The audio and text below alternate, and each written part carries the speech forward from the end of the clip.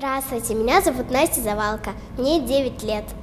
Мой рост 138 попугаев. Я занимаюсь в актерской студии и э, есть опыт съемок в кино. Моя самая любимая роль в спектакле «Повелитель мух» э, «Близняшки». Это самая классная роль, ну, потому что можно было беситься, бегать, играть. Э, ну, это просто моя роль.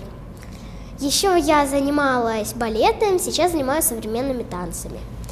А, и я хожу а, в театральную студию, которая связана со съемками тоже кино. Если хотите, берите меня в кино.